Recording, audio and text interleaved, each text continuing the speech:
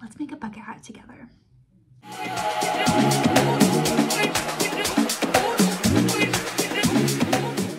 One of my very popular products when I had my retail store was, were my bucket hats. They are fully reversible, so you can wear them either way. Two hats for one, which is such a steal. And it has been so long since I made one, since I put all of my sewing stuff in storage for so long.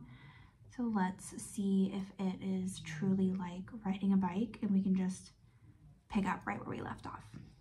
If you want to follow along and make your own bucket hat with me, you will just need a pattern, an iron, an ironing board, a sewing machine, and a serger if you want, but is not necessary. My two fabrics today will be this beautiful blue printed. I like to typically do a little bit of an upholstery so it gives it a little more structure, but it doesn't have to be. At least one side usually is pretty helpful. I also like to do one side usually printed and the other side with a solid color. That way, if you're feeling a little more outgoing, you do the printed. If you're feeling a little bit more muted, you have a solid color. This will be done with a white thread, mostly because I am short on colors at this moment, but I think it would also look really beautiful with a nice shade of blue to kind of match either one of these.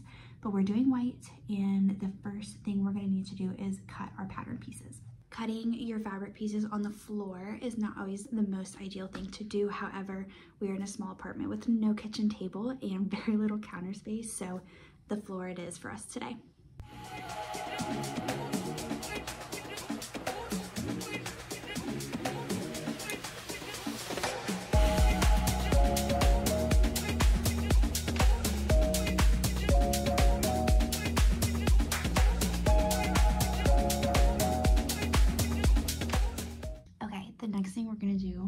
Also on the floor is press our fabric so that it's nice and not wrinkly in any way.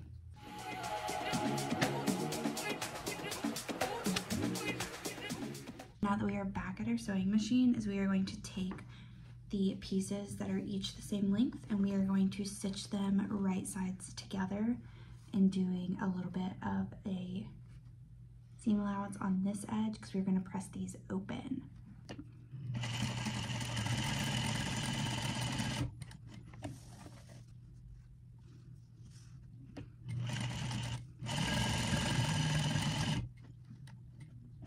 That we have all of our pieces stitched together, we've still got our two main circles. We're gonna take this over to our ironing board and we're going to press these seams open flat. So I'm gonna head over there and do that real quick and I'll be right back. This is also a great time for a pressing ham. This is great for anything with a curve. So these have a little bit of a curve on them since they will sit on our head. It's also great for any garment making, just a really nice thing to have in your sewing kit. We now have all of our seams pressed flat. They should look like this. We are going to start constructing each piece of the hat. This is a great time to use clips, but I have misplaced all of my clips. So we will be using traditional pins and I will start pinning the smaller piece in first to right sides together like this. And I will get pinning them around and show you how they look. I now have my two pieces pinned right side together. I typically start on each side at each seam and then one on each side here. A tip when sewing with pins, you never want to sew over your pins as you'll risk breaking your needle. So as you sew, you'll just want to pull your pin out. But we're going to go ahead and top stitch all the way around this and get these pieces connected.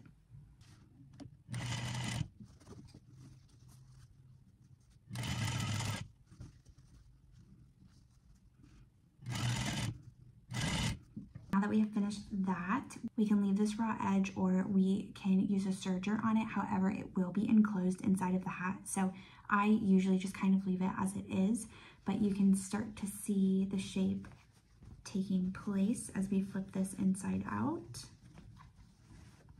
This is the top of the hat. So the next thing we're gonna do is we're going to take the next piece of the same fabric and we're gonna do the same thing over again. We're going to do right sides together. So lining up these seams, kind of using them as our notch. we're going to pin that and then top stitch this around as well. So I will meet you on the other side of this step. Now that I've got those pieces all stitched together, you can already see one side of the bucket hat and just like that, look at how beautiful. I typically do like to go in and press this top seam again using my um, pressing ham just to give it a really clean look, but that is optional. It is pretty difficult to get in and press the seam up here, so I don't usually do that, but I'm going to go ahead, press the seam. We're going to repeat these steps with this side of the bucket hat, and then I will meet you back. We now have both of our pieces. They should look like this, and I did press the seam so you can see the last step in putting the two pieces together is to make them again right sides together. So turning one inside out. If you are using denim on one side, it is sometimes fun to do them right sides together and leave a raw hem because it will kind of age over time. However, with these fabrics, I will not be doing that. So I will be tucking one inside of the other, just like this. And again, lining up our side seams. So making sure these two pieces match up and pinning them. Same on this side, and then I usually do one on each side. The key here is we will do a top stitch, but leave a gap so that we can flip it inside out. So I will show you how I do that when I get to the end, and then we will be kind of doing our final finishing touches. And just like that, we'll have a bucket hat. You will see that they fit quite snugly together. So I'm going to go ahead and move you back down to the sewing machine and we're gonna get to doing our stitch, again, leaving that gap so we can flip it inside out.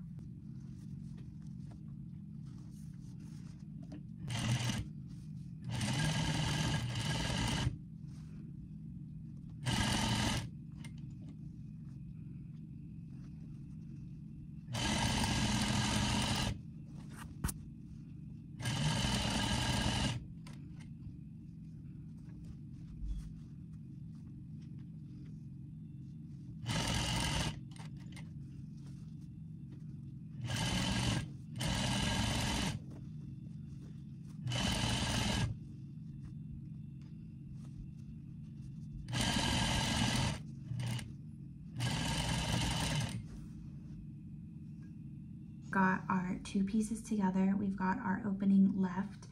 Because these get a little bulky, I do sometimes like to trim these cornered edges down just a little bit.